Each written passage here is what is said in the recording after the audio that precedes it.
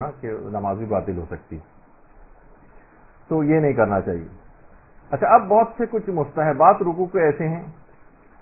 ये उसका भी ख्याल रख लेना चाहिए कि इंसान की निगाह जिस वक्त वो रुकू कर रहा हो, उसके दोनों पाँव के दरमियान जो जगह होती है कि कम से कम चार फैली हुई उंगलियाँ, यानी एक तो उंगलियों, चारों उंगलियों को अगर आप मिला लें, उतनी जगह अगर इन उंगलियों को फैला लें यानी जिस तरह खोलते हैं उंगलियाँ चार उंगलियों को खोलने की जगह के मुताबिक या चले एक वालिश भी अगर कर लिया जाए तो इतनी टांगों के दरमियान जो जगह है, उस जगह को देख, बहुत से लोग ये करते हैं कि रुकू की हालत में भी जगह को देखते हैं। किस वक्त, कहाँ पर देखना है?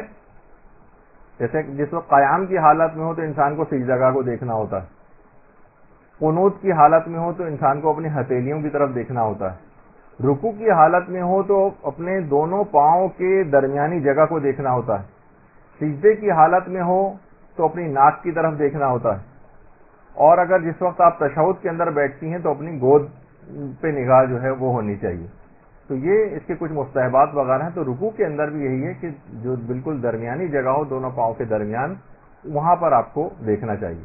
अलबत्त इसके अंदर उस बात का भी ख्याल रहे कि आमतौर पर घरों के अंदर ये होता है कि बच्चे जो छेड़खानी कर रहे होते हैं और आकर कमर पे सवार हो जाते हैं और उसी वक्त जिसम हिल रहा होता है तो उस वक्त वाजिब ज़िक्र को अपने रोक देना चाहिए, जिसम साकिन हो और फिर उसके बाद ज़िक्र किया जाए।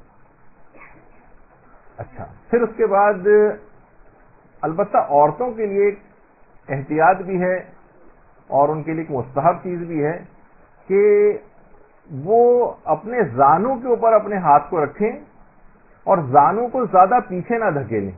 जिस तरह से मर्दों का हुक्म है कि बिल्कुल गर्दन को आगे की तरफ़ करके जिसम के पीछे से को पीछे की तरफ़ तरफ़ करे और बिल्कुल कमर को बिल्कुल सीधा करे। औरतों के लिए यह है कि अपने जानू को ज़्यादा पीछे की तरफ़ ना धकेलें। यानी उनके लिए मुस्तहब चीज़ है। अलबत्ता कर वो मर्दों की तरह से भी सकती हैं, लेकिन शायद उनकी हिजाब और इफ़त के तकाजे के तहत इस्लाम ने ये मुस्तहब करार दिया। इसी